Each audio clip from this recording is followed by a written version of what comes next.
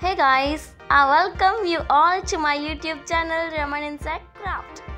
Today I'm going to create a realistic eye with the help of watercolors.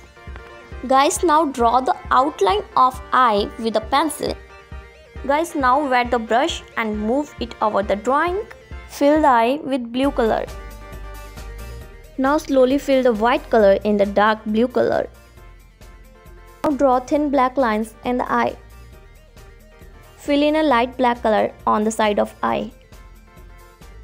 Guys draw lines with the help of white paint.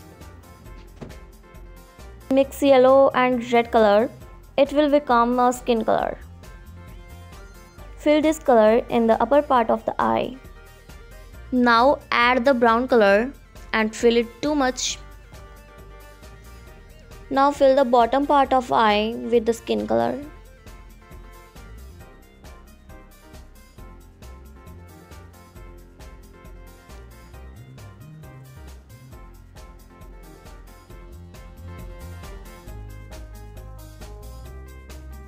Draw a line in the lower part of eye with the brown color. Now draw another line. Guys, now make a upper and lower eyelashes. My eyelashes was and